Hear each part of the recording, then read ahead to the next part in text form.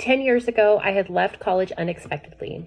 I was experiencing domestic violence in my relationship and decided to move out of state with my two children. I had returned to college during my pregnancy with my third child and had to drop two classes because I went into labor earlier than expected. The following semester, I was denied financial aid and was put on academic probation due to the classes that were dropped 10 years prior.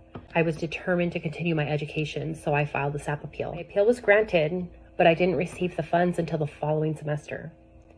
At the time, I had lost my housing due to the pandemic and was depending on that financial aid to support my family. An automatic SAP reset would encourage current students and future generations to continue their education regardless of life's challenges. We should be able to come back to school when we're ready to continue our education without punishment for our past decisions.